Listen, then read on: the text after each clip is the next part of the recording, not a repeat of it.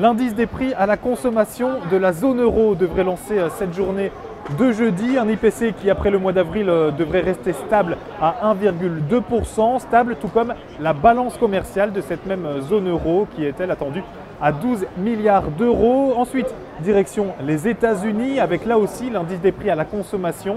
Mais du côté américain, eh bien, soit un léger recul, un passage de 1,9 à 1,8%.